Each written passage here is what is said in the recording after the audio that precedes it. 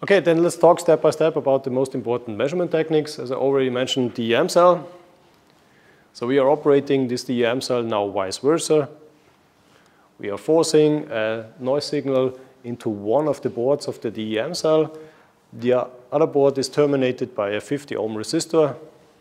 As you can see here, this is a little bit bigger resistor because we can imagine that, or you can imagine that most of the noise signal that we are generating by the signal generator, amplifying, sending into the TEM cell will be dissipated into heat here at this 50 ohm system. Okay, but the interesting thing is what's happening inside of the TEM cell. So inside we have this septum, so this metal plate. We are driving a current more or less through this metal plate, so there is a magnetic field generated around the metal plate that is circling somehow around the metal plate.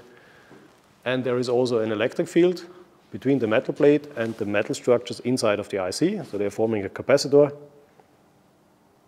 So we are injecting some electric fields and magnetic fields in form of capacitive and inductive coupling into the IC under test, which is placed then on the printed circuit board and clamped into this opening board.